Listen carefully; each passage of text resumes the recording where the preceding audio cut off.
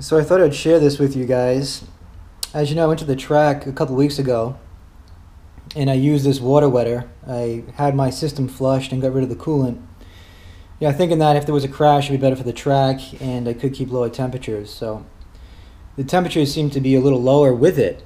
And when I was at the track, I didn't check my coolant level or the water wetter level because I had no need to and, well, no experience to pay attention to such things.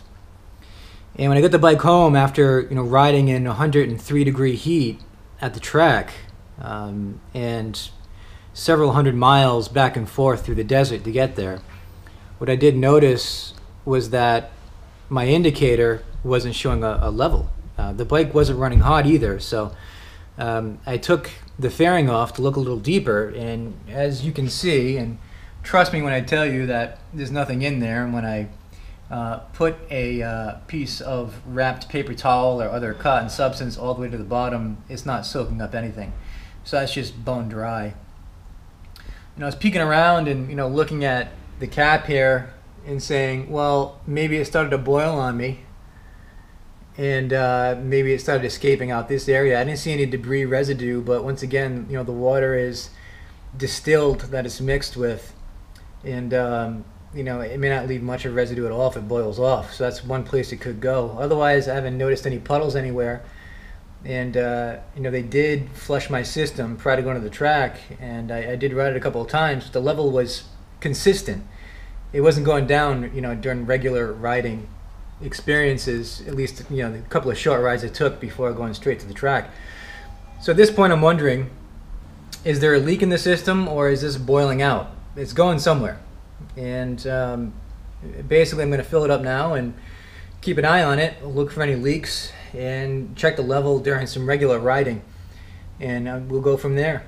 And uh, I'll take it again to the track, bring some extra with me in case I need it, and give you guys an update. I think the last thing I want to do is bring it back to the shop, you know, to uh, unnecessarily spend money when we can just do more pragmatic diagnostics. Either it disappears or it doesn't and either it's as hot as it was last track day or it's not. I guess we'll see. So I filled it back up. It uh, it took just enough to fill the overflow container. And then I took it for a ride, and you know, just a, a, ride around here, about 20 minutes. Got the RPMs up to uh, 11, 12,000 a couple of times.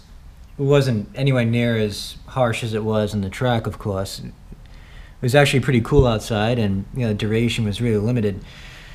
But you know nothing flagrant right now. The level seems to be the same. I'm not seeing anything dripping from the bottom. You know down here on the floor. Um, you know it's kind of warm in this garage, so this could evaporate before I can notice it too. But I'll keep an eye on it. Like I said, the amount missing was about the amount to fill the overflow container itself, and uh, it didn't take any more than that before it topped up. So I took it out for a couple of hell rides, about four hours of total riding. Made sure I stayed above 10,000 RPM for a good amount of time because I wanted to check this coolant. And, you know, it's staying at max. I know you probably can't see it. It's the pink stuff in there, but, you know, it's over the max line. It hasn't dropped at all. I was in unique circumstances. It was, like I said, pushing 100 if it was like mid 90s to, you know, 103 out there in the desert, and it was uh, you know nearly a thousand miles total that weekend. So it could have been the extreme circumstances. I don't know if this stuff boils off or escapes the um, the overflow cap somehow, but I'm not seeing any leakage. You know, on, on certain parts of the bike, I'm not seeing it dripping down these hoses here. I'm not seeing any sort of residue. Um, took the fairing off a couple of times and was looking for evidence that something was squirting out.